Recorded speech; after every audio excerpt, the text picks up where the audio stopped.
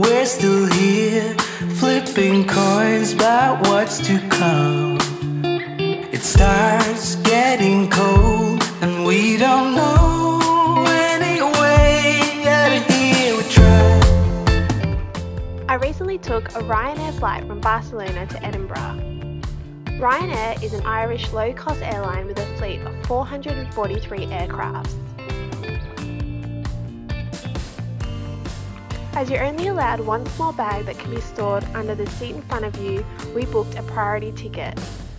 This allowed us to have priority boarding, checked luggage, and to bring on a standard carry-on bag that can be put in the overhead compartments.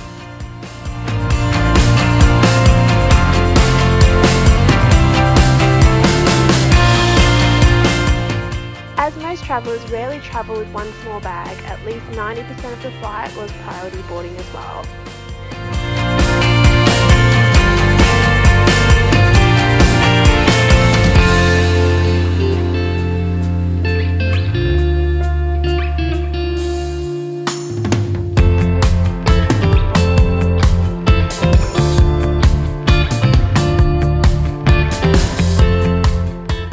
As expected with low cost carriers, the seats were slightly uncomfortable and we had slightly less legroom.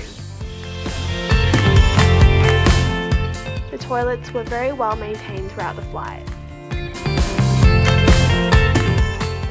Overall, I didn't mind flying Ryanair as you really do get what you pay for. The flight felt safe, the aircraft interior appeared really well maintained and the toilets were kept clean throughout the flight.